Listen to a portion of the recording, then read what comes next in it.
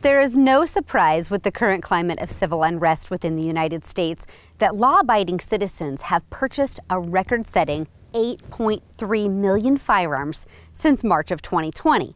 But what you may find as a surprise is that firearms aren't just being sold for personal protection, they're being sold for personal enjoyment.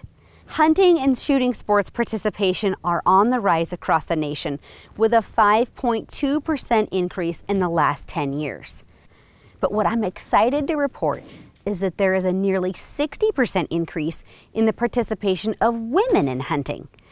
Noted as one of the safest activities in America, hunting and target shooting are a great way to practice social distancing, leaving even more families focused on getting outdoors to enjoy hunting and shooting sports as a family. But the real win here is for the environment. The Rocky Mountain Elk Foundation recognizes and supports the vital role that hunting plays in supporting and funding conservation. Since 1937, hunters and firearms owners have been the true crusaders in the environmental movement, contributing $12.2 billion to conservation. The truth is that guns and hunting are directly tied to the most successful wildlife conservation model and the most effective free market conservation efforts in the world.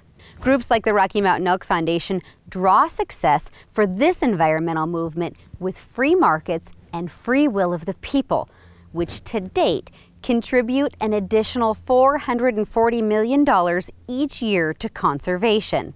With hunting and shooting sports being a safe, family fun pastime that makes our world a better place, it is no wonder that more women are lacing up their boots and heading afield or to the range. To learn more, go to rmef.org.